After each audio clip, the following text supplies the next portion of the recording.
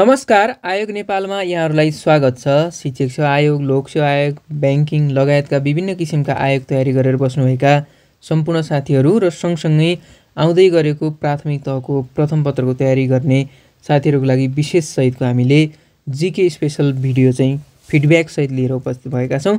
आशा छ यहाँहरूलाई यो प्रस्तुति पक्कै पनि फाइदाजनक हुनेछ। हामी विषयवस्तुतर्फै अगाडि बढौँ। पहिलो प्रश्न रहेको छ अन्तरिक्षमा प्रवेश गर्ने प्रथम राष्ट्र कुन हो भनिएको छ? यो चाहिँ तपाईँहरूको ब्रह्माण्ड सम्बन्धी जानकारी अथवा एकाइ एकबाट सोधिएको प्रश्न हो। अन्तरिक्षमा प्रवेश गर्ने प्रथम राष्ट्र कुन हो? अप्सनमा option A Japan option B चिन अप्सन सी रुस अप्सन डी अमेरिका। अब तपाईँहरूले यो अन्तरिक्षमा प्रवेश गर्ने राष्ट्रहरूमा चाहिँ कुनै पनि सोधिदिन सक्छ कहिलेकाहीँ चाहिँ क्रम मिलाउन पनि सोधिदिन सक्छ है? देखाएका मध्ये चाहिँ अन्तरिक्षमा प्रवेश गर्ने राष्ट्रहरूको सही क्रम कुन हो भनेर पनि त्यसरी पनि प्रश्न सोध्न सक्छ। त्यो भएको कारणले गर्दा चाहिँ पहिलो कुरो चाहिँ तपाईँहरूले के गर्नु पऱ्यो त भन्दा यहाँ चाहिँ थाहा पाउनु पऱ्यो है। पहिलोमा चाहिँ तपाईँहरूको रुस छ है। रुस चाहिँ पहिलो राष्ट्र हो अन्तरिक्षमा प्रवेश गर्ने। त्यस पछाडि रुस पछाडि चाहिँ तपाईँहरूको अमेरिका है। अमेरिका अमेरिका पछाडि चाहिँ जापान गयो। जापान जापान पछाडि तपाईँहरूको फ्रान्स फ्रान्स र फ्रान्स पछाडि चाहिँ चिन चाहिँ तपाईँहरूको के गरेको छ त यी पाँचवटा राष्ट्र भनेका चाहिँ प्रथम पटक चाहिँ अमे अन्तरिक्षमा प्रवेश गर्ने राष्ट्रहरू हुन्। अब यसको सूत्र छ एउटा होइन त्यति अप्ठ्यारो सूत्र पनि छैन। मैले अङ्ग्रेजीबाट प्रत्येक चाहिँ देशहरूको फर्स्ट अल्फाबेट लिएर चाहिँ यसरी बनेको छ। राज एफसी भन्ने याद गर्नु होला है आरएजे राज एफसी भन्ने चाहिँ यो एउटा सूत्र छ जस जसलाई चाहिँ तपाईँहरूले अन्तरिक्षमा प्रवेश गर्ने प्रथम पाँच राष्ट्रहरूको बारेमा चाहिँ थाहा पाउन सक्नुहुनेछ है। प्रथम पाँच राष्ट्र। प्रथम पाँच राष्ट्र। है ल यो प्रथम पाँच राष्ट्र चाहिँ राज एफसी भन्ने हुन्। आरबाट रुस एबाट अमेरिका जेबाट जापान एफबाट फ्रान्स र सीबाट चिन गरेर पाँचवटा चाहिँ अन्तरिक्षमा प्रवेश गर्ने राष्ट्रहरू भए। यसको सही क्रम पनि यही नै हो है। यो यसको सही क्रम यही नै हो तपाईँलाई कहिलेकाहीँ सोध्न सक्छ। अब यो क्रम हेरेर तपाईँले थाहा पाइसक्नु भएको छ होला अन्तरिक्षमा प्रवेश गर्ने प्रथम राष्ट्र कुन हो भन्यो भने रुस भन्ने कुरा तपाईँहरूलाई पक्कै पनि थाहा छ है? अन्तरिक्षमा प्रवेश गर्ने प्रथम राष्ट्र रुस रहेको छ र प्रथम पाँच राष्ट्र चाहिँ आरएजे एफसी अथवा राज एफसी भनेर याद गर्नुहोस् र छैटौँ राष्ट्र चाहिँ भारत हो है? त्यो पनि तपाईँहरूले याद राख्नुहोला छैटौँ राष्ट्र भारत भनेर यसरी तपाईँहरूले याद गर्नुहोस् है। ल अब अगाडि जाउँ हामी। दोस्रो प्रश्न रहेको छ आन्ध्र महासागरको पश्चिममा बहने वायुलाई के भनिन्छ भनेको छ। यो वायुबाट पनि कहिलेकाहीँ प्रश्नहरू सोधिसकेको छ। यो लोकसेवातिर चाहिँ लगभग बढी नै सोधेको देखिन्छ र शिक्षक सेवामा पनि नसोध्ला भन्न सकिँदैन है किनभने एकदमै महत्त्वपूर्ण कुराहरू हो यो। अब आन्ध्र महासागरको पश्चिममा बहने वायुलाई के भनिन्छ भनिएको छ। अब अप्सनहरू रहेको छ। Option A hurricane option B cyclone option C typhoon र अप्सन डी टोर्नाडो भनेर चाहिँ चारवटा अप्सन चाहिँ यसमा दिएको छ। अब तपाईँहरूले अध्ययन गर्नुभएको छ भने त यो पक्कै पनि थाहा छ है। यदि अध्ययन गर्नुभएको छैन भने अलिकति चाहिँ मुस्किल हुनसक्छ। अब यस्ता कुराहरूमा कतिपय चाहिँ अब अनुमान लाएर पनि मिल्छ तर पढ्दै नपढेको कुराहरूलाई चाहिँ अनुमान चाहिँ नलगाउनु होला किनभने यसले ठुलो असर पार्छ। किनभने आयोगमा तपाईँहरूको मार्क्स काटिने चाहिँ सिस्टम भएको कारणले गर्दा चाहिँ अनुमानका आन्सरहरू चाहिँ अब लास्टमा केही हुँदै भएन भने चाहिँ अब त्यो पनि एउटा गर्नुपर्छ। तर पनि अब तपाईँहरूले चाहिँ तिस एकतिस बत्तिस चाहिँ जानेरै मिलाउनु भएको छ भने अरू चाहिँ लगभग चट्टकै छोड्दा पनि तपाईँहरूलाई हुन्छ है। अब हेरौँ हामी यहाँ यो चारवटा कुराहरू दिएको छ। यो चारैवटालाई चाहिँ एकचोटि हेरौँ। यो युरिकेन भनेको छ एउटा है। यो युरिकेन भनेको चाहिँ तपाईँहरूको आन्ध्र महासागरको चाहिँ पश्चिममा बग्ने वायु है। आन्ध्र महासागरको सागरको पश्चिममा। है पश्चिममा बहने वायु हो। साइक्लोन भनेको चाहिँ तपाईँको अफ्रिकाको पश्चिमी तटमा है। अफ्रिकाको पश्चिमी तटमा बहन बहने वायु है जसलाई हामी साइक्लोन भन्छौँ। त्यस पछाडि टाइफोन भनिएको छ है? टाइफोन भनिएको छ। टाइफोन भनेको चाहिँ प्रशान्त महासागरको पश्चिममा बहने वायु है? प्रशान्त महासागरको पश्चिममा बहने वायु। पश्चिममा बहने वायु र टोर्नाडो भनेको चाहिँ तपाईँहरूको हिन्द महासागरमा बहने वायु है? हिन्द महासागर। ल यति कुराहरू तपाईँहरूले याद गर्नु है युरिकेन आन्ध्र महासागरको पश्चिममा बहने वायु साइक्लोन भनेको चाहिँ अफ्रिकाको पश्चिमी तटमा बहने वायु टाइफुन भनेको प्रशान्त महासागरको पश्चिममा बहने वायु र टोर्नाडो चाहिँ हिन्द महासागरमा बहने वायु रहेको छ। अब यति हेरिसके पछाडि तपाईँले आन्सर पक्कै पनि थाहा पाइसक्नु भएको छ। है आन्ध्र महासागरको पश्चिममा बहने वायुलाई चाहिँ युरिकेन भनिन्छ भन्ने कुरा तपाईँहरूले थाहा पाइसक्नु भएको छ। है यी चारवटा कुराहरू तपाईँले याद गर्नुहोला है। अब तपाईँहरूले धेरै युट्युबमा भिडियोहरू भेट्नु पनि भएको छ होला जसले सिधै चाहिँ आन्सर भनेर अगाडि जानुभएको पनि छ। अब त्यसरी तपाईँलाई सिधै एन्सर भनेर अगाडि गयो भने चाहिँ अलिकति तपाईँहरूलाई ब्याक पर्ने सम्भावना हुन्छ। किनभने जस्तै यहाँ आन्ध्र महासागरको पश्चिममा बहने वायुलाई के भनिन्छ भनेर तपाईँले युरिकेन भन्ने चाहिँ तपाईँले अब सिधै एन्सर हेर्दा चाहिँ यो युरिकेन हो भन्ने थाहा पाउनुहुन्छ है। र अगाडि बढ्नु न तपाईँले किनभने भोलि अब तपाईँलाई साइक्लोन भनेको के हो सोधिदियो टाइफुन भनेको के हो सोधिदियो टोर्नाडो भनेको के हो सोधिदियो भने त्यति बेला गाह्रो हुन्छ। किनभने अब पहिला पढ्नु भएको छ भने त तपाईँलाई त्यो सजिलो भयो थाहा भयो होइन? यदि पढ्नु भएको छैन भने पनि यसरी क्वेसन आन्सरको सिलसिलामा चाहिँ सबैलाई समेटेर पनि तपाईँले आफै पनि पढ्ने कोसिस गर्नुभयो भने भोलि तपाईँहरूलाई सजिलो हुन्छ है? तेस्रो प्रश्नमा जाउँ हामी उत्तर कोरिया र दक्षिण कोरिया बिचको सीमारेखालाई के भनिन्छ? यो सीमारेखा पनि बार बार सोधिरहने कुरा हो है। त्यो भएर यसलाई तपाईँहरूले याद गर्नुहोला। अप्सन ए सत्र प्यारालाल अप्सन बी बिस प्यारालाल अप्सन सी अडतिस प्यारालाल र अप्सन डी उनपचास प्यारालाल भनेर भनिएको छ। अब यसमा याद गर्ने हो भने जस्तै सत्र प्यारालाल भनेको चाहिँ एउटा एउटा बिस प्यारालाल अडतिस प्यारालाल उन्चास प्यारालाल भनेर यहाँ भनिएको छ है।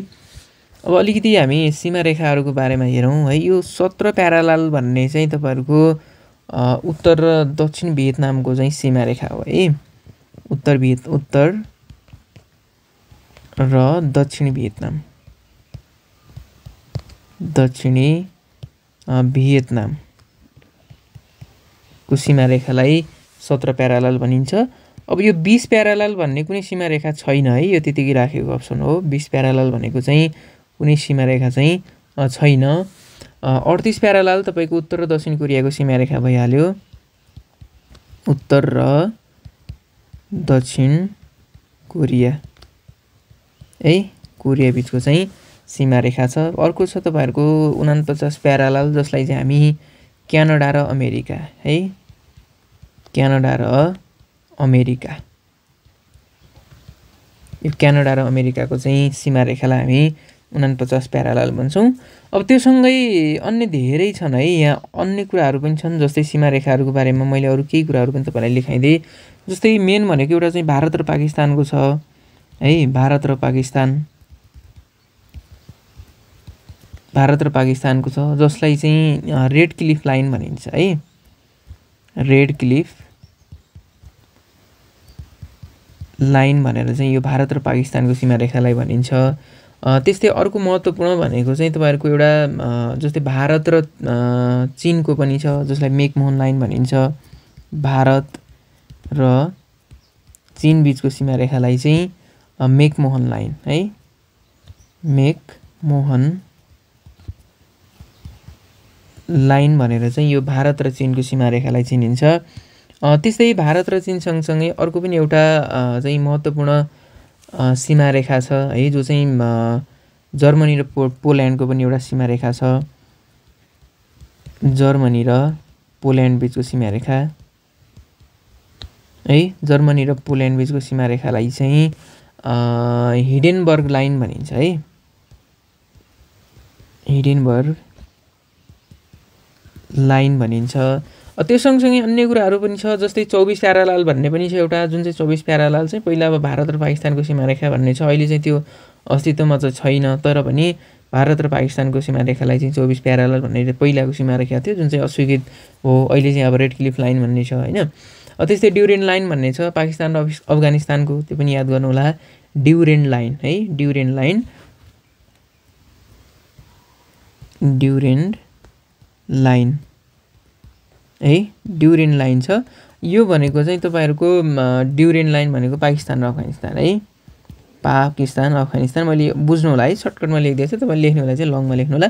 पाकिस्तान र अफगानिस्तानको सीमा रेखालाई चाहिँ ड्युरेन लाइन भनिन्छ। अब त्यस्तै अर्को डेड लाइन भन्ने पनि छ एउटा तपाईँहरूको है।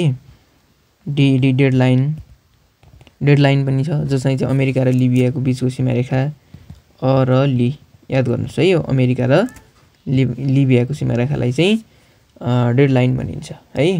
ल।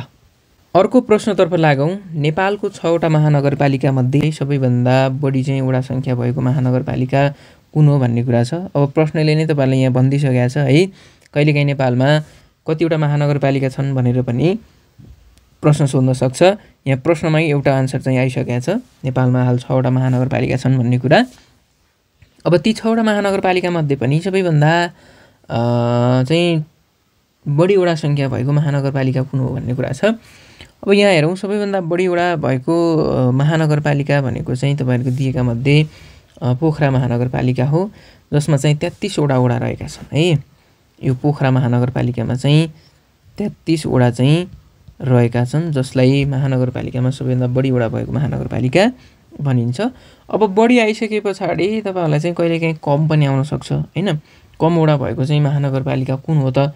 भन्ने पनि आउनसक्छ। कम भनेको चाहिँ तपाईँहरूको विराटनगर महानगरपालिका हो। है जसमा चाहिँ उन्नाइसवटा वडा मात्रै रहेका छन्। उन्नाइसवटा वडा मात्रै चाहिँ यो विराटनगर महानगरपालिकामा रहेका छन्। अब कहिलेकाहीँ चाहिँ तपाईँहरूको क्षेत्रफलको आधारमा ठुलो महानगरपालिका र क्षेत्रफलको आधारमा चाहिँ सानो महानगरपालिका पनि भन्न सक्छ। यो पनि तपाईँहरूको एउटै कुरा है है। यो वडा सङ्ख्या र जुन कुरा छ सबै एउटै जस्तै यो पोखरा क्षेत्रफलको आधारमा यो ठुलो हो है। पोखरा महानगरपालिका क्षेत्रफलको आधारमा ठुलो महानगर महानगरपालिका हो भने चाहिँ यो विराटनगर महानगरपालिका चाहिँ क्षेत्रफलको आधारमा पनि सानो महानगरपालिका हो।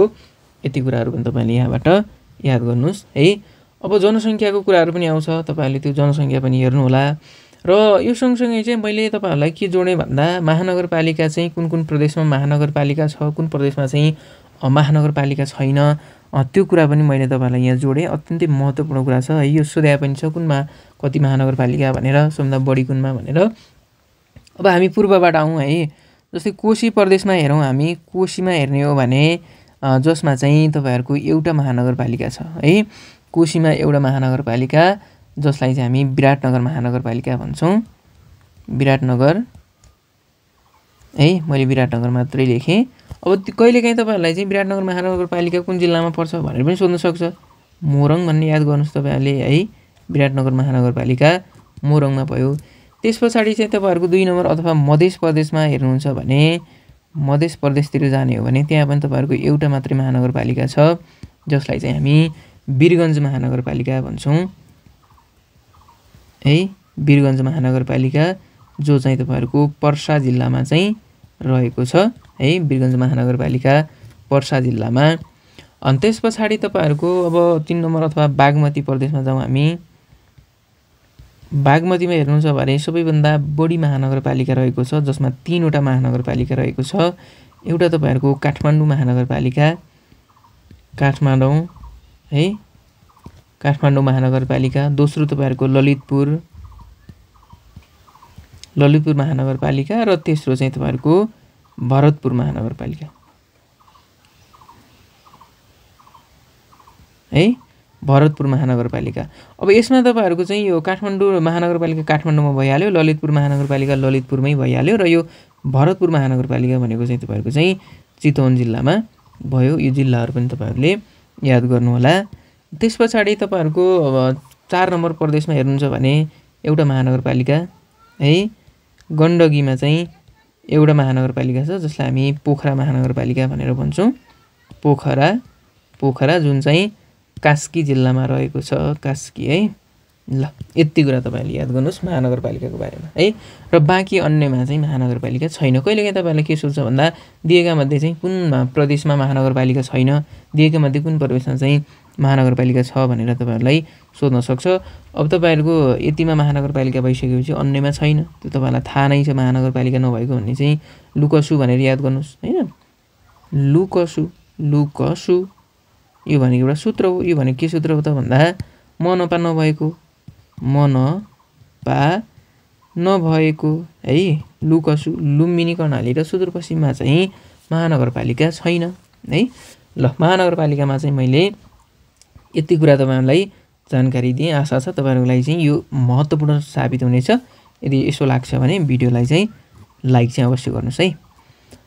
पाँचौँ प्रश्नमा जब हामी नेपालको पूर्वी बिन्दु देखाएको मध्ये कुन हो भनेको छ अब नेपालको पूर्व पश्चिम उत्तर दक्षिण बिन्दुको बारेमा पनि तपाईँहरूले याद गर्नै पर्छ है। तपाईँहरूले चाहिँ नेपालको अवस्थिति तपाईँहरूले पक्कै पनि पढ्नुभयो होला है। छब्बिस डिग्री बाइस उत्तरी अक्षांशदेखि तपाईँहरूको चाहिँ त्यस पछाडि तिस सत्ताइस उत्तरी अक्षांश र असी चारदेखि अठासी बाह्र चाहिँ पूर्वी देशान्तरसम्म चाहिँ नेपालको अवस्थिति छ भनेर तपाईँले थाहा पाउनु भएको छ होला। हो त्यही देशान्तर नै के हो त नेपालको? तपाईँहरूको चारवटा बिन्दु हो है? एउटा तपाईँहरूको चाहिँ जस्तै पूर्वी बिन्दु भन्ने बित्तिकै चाहिँ अठासी बाह्र तपाईँहरूको पूर्वी बिन्दु भयो होइन?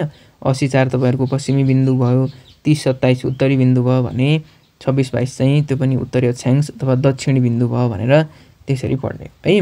अब पहिलो कुरा चाहिँ हामी यहाँ म एउटा सानो तपाईँलाई बनाइदिन्छु है तपाईँले याद गर्नुहोला उत्तरी र दक्षिणी बिन्दुको बारेमा है।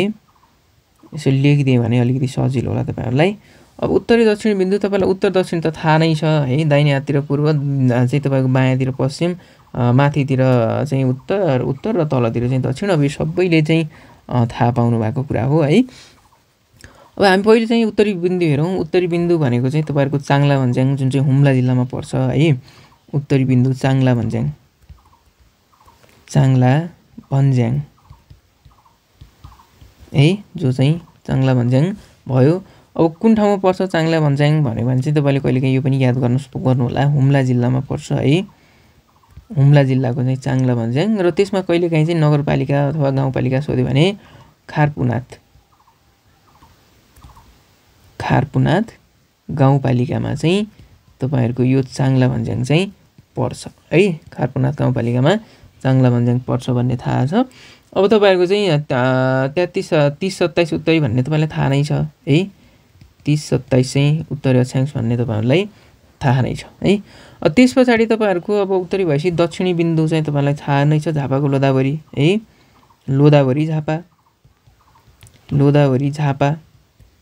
भइहाल्यो जिल्ला पनि भइहाल्यो ठाउँ पनि भइहाल्यो है। अब यसको चाहिँ नगरपालिका पनि कहिलेकाहीँ सोध्यो भने चाहिँ तपाईँहरूको यो केचनाकल गाउँपालिकामा चाहिँ पर्छ है। केचना कवल गापामा चाहिँ तपाईँहरूको दक्षिणी बिन्दु पऱ्यो है। छब्बिस बाइस छब्बिस बाइस यो पनि याद गर्नुहोस्। अब त्यस पछाडि हामी पूर्वी बिन्दुतर्फ जाउँ है। पूर्वी बिन्दु भन्ने बित्तिकै चाहिँ तपाईँहरूले लेलेप ओचा ओलाङचुङ्गोला भन्ने थाहा पाउनु पऱ्यो लेलेप ओलाङचुङ्गोला है लेलेप ओलाङचुङ्गोला अब ताप्लेजुङ तपाईँलाई थाहा नै छ। है ताप्लेजुङ भन्ने थाहा नै छ। अब यो चाहिँ तपाईँहरूको फक्तालुङमा गाउँपालिकामा चाहिँ यो पर्छ है। फक्ता लुङमा गापा। है अक्षर नबुझिए पनि तपाईँले भनेको आधारमा टिप्नुहोस् है। फक्तालुङमा गाउँपालिकामा चाहिँ यो पऱ्यो जसलाई हामी अठासी बाह्र भन्छौँ। है अठासी बाह्र पूर्वी देशान्तर भन्छौँ। अब पश्चिमतर्फ जाने हो भने चाहिँ तपाईँहरूको पश्चिमको चाहिँ दोधारा कञ्चनपुरको चाहिँ दोधारा भइहाल्यो है। दोधारा कञ्चनपुर। कञ्चनपुरको दोधारामा चाहिँ तपाईँहरूको पर्छ र नगरपालिका भन्ने भने चाहिँ भीमदत्त है। भीमदत्त नपामा चाहिँ यो पर्छ जो भनेको चाहिँ अस्सी डिग्री चार मिनट चाहिँ पूर्वी देशान्तरमा चाहिँ रहन्छ भन्ने कुरा भयो। ल यो भयो तपाईँहरूको नेपालको चारवटा बिन्दुहरू है। उत्तर दक्षिण पूर्व पश्चिमको चार बिन्दु भयो। नेपाल चाहिँ प्रश्नले के सोधेको छ भन्दा नेपालको पूर्वी बिन्दु देखाएको मध्ये कुन हो भनेको छ। अब तपाईँले यो हेरेर थाहा पाइसक्नु भएको छ नेपालको पूर्वी बिन्दु कुन हो भन्ने कुरा। लेलेप ओलाङचुङ्गोला चाहिँ नेपालको पूर्वी बिन्दु हो भन्ने तपाईँहरूलाई थाहा भइसक्यो है। ल अगाडि बढौँ। यस्तो कुनै कन्फ्युजन लाग्छ तपाईँलाई भने चाहिँ भिडियोमा हामीलाई कमेन्ट गर्नु होला है। त्यस्तो कमेन्ट गर्नु होला। यदि कमेन्ट गर्दा पनि तपाईँहरूको चाहिँ जवाफ आएन भने तपाईँलाई हामीलाई वाट्सएपमा म्यासेज गर्न सक्नुहुन्छ है। अन्ठानब्बे एक पच्चिस सन्तानब्बे सात अठार चाहिँ हाम्रो वाट्सएप छ। यसमा चाहिँ तपाईँले हामीलाई म्यासेज गर्न सक्नुहुनेछ। आफूले लागेको जिज्ञासाहरू हामी समय मिलेसम्म चाहिँ तपाईँहरूको रिप्लाई अवश्य पनि दिनेछौँ। छैटौँ प्रश्नमा जाउँ हामी। मर्नेका नाममा अनिवार्य रूपमा चौतारा बनाउनु पर्ने प्रचलन देखाएको मध्ये कुन जातिमा रहेको छ? अब यो जात जातिबाट चाहिँ प्रत्येक वर्ष प्रश्न कहिल्यै पनि छुट्दैन है तपाईँहरूको। हरेक क्षेत्रमा हरेक आयोगमा चाहिँ यो जात जातिबाट प्रश्न अनिवार्य आउँछ। तपाईँ चाहे शिक्षक सेवा पढ्नुहोस् चाहे लोक सेवा पढ्नुहोस् चाहे ब्याङ्क पढ्नुहोस् चाहे टेलिकम पढ्नुहोस् चाहे विद्युत पढ्नुहोस् हरेक क्षेत्र पढ्नुहोस् जात जातिबाट तपाईँलाई एउटा प्रश्न अनिवार्य आएकै हुन्छ है। अब मर्नेको नाममा अनिवार्य रूपमा चाहिँ चौतारा बनाउनु पर्ने प्रचलन देखाएका मध्ये कुन रहेको छ भनिएको छ। कति कति साथीहरूले चाहिँ यो प्रश्न पहिले नै पढ्नु भएको थियो जान्नु भएको थियो कमेन्ट गर्नु होला है। हामीलाई कमेन्ट गर्नु होला अप्सन छ option A Danuwar option B Thami option C Raji र अप्सन डी धिमाल भनेर भनिएको छ। अब म पहिला आन्सरतर्फै गएँ यसको बारेमा है। त्यस पछाडि अलिकति चाहिँ त्यस जातिको बारेमा चाहिँ थोरै कुराहरू मैले यहाँहरूलाई व्याख्या गर्नेछु। मर्नेको नाममा चाहिँ अनिवार्य रूपमा चौतारा बनाउनु पर्ने चलन रहेको जाति भनेको चाहिँ थामी जातिमा रहेको छ है। यो थामी जातिमा चाहिँ मर्नेको नाममा चाहिँ अनिवार्य रूपमा यिनीहरूले चाहिँ चौतारा बनाउनु पर्ने प्रचलन चाहिँ रहेको छ। अब थामी जाति अब थामी जातिमा चाहिँ एउटा के छ भन्दा एउटा भनाइ छ कि है थामी जातिले चाहिँ आफ्नो मूल थलो ना नछोड्ने है आफ्नो ठाउँबाट अन्त नजाने र आफूसँग भएको चाहिँ जुन सम्पत्तिहरू चलल सम्पत्ति चाहिँ त्यो अरूलाई नदिने अथवा आफूसँगै थामेर राख्ने भएको कारणले गर्दा चाहिँ यिनीहरूलाई थामी जाति भनिएको भन्ने चाहिँ एउटा प्रचलन चाहिँ रहेको छ है। त्यसरी पनि तपाईँहरूले पढ्नु होला किनभने धेरै ठाउँमा यो कुराहरू आएको छ जसले आफ्नो मूल थलो नछोड्ने आफ्नो सम्पत्तिहरू चाहिँ तपाईँहरूलाई नदिने अरूलाई चाहिँ नदिने भएको कारणले गर्दाखेरिमा चाहिँ यो थामी जाति भनिएको भन्ने कुरा रहेको छ। अब थामी जातिको बारेमा अलिकति केही कुरा थप कुराहरू तपाईँले जान्नु पऱ्यो है। किनभने भोलि तपाईँलाई चाहिँ अब यो थामी जातिको बारेमा अन्य कुराहरू पनि छ। यो मर्नेको नाममा अनिवार्य रूपमा चौतारो बनाउनु पर्ने चलन मात्रै भनेर पनि सोध्न सक्छ। भोलि अर्को कुराहरू पनि सोध्न सक्छ। अब यिनीहरूको मुख्य बसोबास भनेको चाहिँ तपाईँहरूको दोलखा रामेछाप र सिन्धुपाल्चोक दोलखा रामेछाप र सिन्धुपाल्चोक मा चाहिँ यो थामी जातिको मुख्य बसोबास रहेको छ। है अब यिनीहरूको कुल देवतालाई चाहिँ हामी विश्वकर्मा भनेर भन्छ है। कुल देवता कुल देवतालाई चाहिँ विश्वकर्मा भन्छ थामी जातिको। विश्वकर्मा है। त्यस पछाडि अर्को छ तपाईँहरूको यसमा जान्नै पर्ने कुरा भनेको चाहिँ यो जातिले चाहिँ मङ्सिर महिनामा मात्रै बिहे गर्छ है। मङ्सिर महिनामा मात्र है। मात्र बिहे गर्ने। है भोलि तपाईँलाई सोध्न सक्छ मङ्सिर महिनामा मात्र बिहे गर्ने जाति कुन हो भन्यो भने थामी तपाईँले भन्न सक्नुहुनेछ है। अब अघि पनि मैले भनिहालेँ तपाईँहरूलाई पैतृक थलो नछोड्ने आफ्नो सम्पत्ति अरूलाई नदिने चलन पनि यो जातिमा रहेको छ है। र यो जातिले चाहिँ मूर्ति पूजामा विश्वास गर्दैन है। मूर्ति पूजामा चाहिँ पूजामा विश्वास नगर्ने है। विश्वास नगर्ने जाति चाहिँ हो। जसले मूर्ति पूजाको सट्टामा चाहिँ यिनीहरू खासमा चाहिँ भूमि पूजा चाहिँ गर्ने गर्छन् है। भूमि पूजा गर्छन् यिनीहरू। मूर्ति पूजामा खासै विश्वास गर्दैनन् र यिनीहरूले चाहिँ भूमि पूजा चाहिँ गर्ने गर्दछन्। अब बाँकी कुराहरू त्यति धेरै चाहिँ अन्य छैन है। अब अर्को एउटा महत्त्वपूर्ण सबैभन्दा बढी जान्नुपर्ने कुरा भनेको चाहिँ यसमा के छ भन्दा आदिवासी जनजातिको वर्गीकरण अनुसार चाहिँ थामी जाति कुन समूहमा पर्छ भनेर चाहिँ त्यो जान्नै पर्छ। यो जाति चाहिँ तपाईँहरूको अति सीमान्तकृतमा है।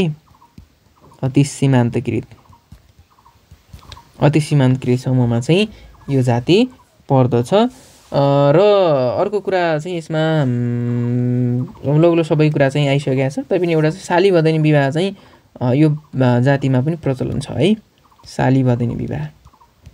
साली भदैनी विवाह चाहिँ यो जातिमा रहेको छ है। यदि कसै चाहिँ थामी जातिको समुदायले चाहिँ यो भिडियो हेर्दै हुनुहुन्छ भने पनि कमेन्ट गर्नुहोला है। किनभने हामीले तपाईँहरूबाट पनि केही कुरा जान्ने अवसर चाहिँ पाइन्छ। अब यो पहिलादेखि नै लिएर आएको कुराहरू हो। अब अब चाहिँ अबको यो सिचुएसनमा अहिलेको यो जेनेरेसनमा आएर तपाईँहरूमा चाहिँ केही कुराहरू चेन्ज भएको छ कि छैन? यहाँ देखाएका कुराहरूमध्ये सबै कुरा चाहिँ लागु छ कि? या त योभन्दा अन्य कुराहरू चेन्ज भएको छ कि छैन? यदि तपाईँहरू कुनै त्यो समुदायबाट हुनुहुन्छ भने कृपया कमेन्ट चाहिँ गर्नुहोला है? बाँकी कुराहरू चाहिँ हामी अन्य कुरा भिडियोमा पनि अन्य जात जातिको बारेमा पनि चर्चा पक्कै पनि गर्नेछौँ। र अर्को कुरा चाहिँ यसमा छोरा जन्मिँदा चाहिँ सात दिनमा र छोरी जन्मिमा चाहिँ पाँच दिनमा न्वारण गर्ने प्रचलन पनि यो जात जातिमा चाहिँ रहेको छ। यो कुराहरू गऱ्यौँ हामीले थामी जातिको बारेमा है। आज अलिकति समय पनि कम छ बाहिर पनि जानुपर्ने छ है। हामी अलिकति ढिला गऱ्यौँ। त्यो भएको कारणले गर्दा चाहिँ हामी आज यति नै कुराहरू छलफल गर्छौँ। आज हामी छवटा प्रश्न छलफल गरे पनि कम्तीमा चाहिँ साठीभन्दा बढी प्रश्नहरू छलफल गरिसकेका छौँ। किनभने यही एउटा प्रश्नबाट हेर्नुहोस् त थामी जाति कोबाट पनि तपाईँलाई कति कुरा आयो? जस्तै एउटा कुरा भयो मर्नेको नाममा चौतारी बनाउने जाति कुन हो एउटा प्रश्न आउन सक्छ होइन? थामी जातिको कुलदेवतालाई के भनिन्छ? दोस्रो प्रश्न आउन सक्छ। मङ्सिर महिनामा मात्र बिहे गर्ने जाति कुन हो भनेर तेस्रो प्रश्न हुनसक्छ तपाईँहरूको लागि। मूर्ति पूजामा विश्वास नगर्ने जाति कुन हो भनेर चौथो प्रश्न हुनसक्छ साली भदैनी विवाह चाहिँ प्रचलनमा पाँचौँ प्रश्न हुनसक्छ है? थामी जातिलाई चाहिँ आदिवासी जनजातिको वर्गीकरण अनुसार चाहिँ कुन जातिमा राखिएको छ भने छैटौँ प्रश्न हुनसक्छ होइन? यी लगायतका कुराहरू जस्तै दोलखा जस्तै थामी जातिहरूको मुख्य बसोबास वासस्थान कहाँ रहेको छ? दोलखा रामसाप सिन्धुपाल्चोक सातौँ प्रश्न हुनसक्छ त्यो भएर यस्ता धेरै कुराहरू समावेश गरेर चाहिँ हामीले यो भिडियोहरू चाहिँ बनाएका छौँ। तपाईँहरूको लागि एकदम बेस्ट हुनसक्छ है। फेरि पनि भन्यो यदि तपाईँलाई चाहिँ आजको विषयवस्तु चाहिँ फलदायक लाग्यो भने चाहिँ सेयर अवश्य गर्नुहोस् लाइक गर्नुहोस् र च्यानललाई सब्सक्राइब अवश्य पनि गर्नुहोला। बाँकी थप जानकारी अन्य समसामयिक जानकारी लगायतका जानकारीहरू लिएर हामी फेरि पनि उपस्थित हुनेछौँ। तबसम्मलाई बिदा दिनुहोस् हवस् त। नमस्कार।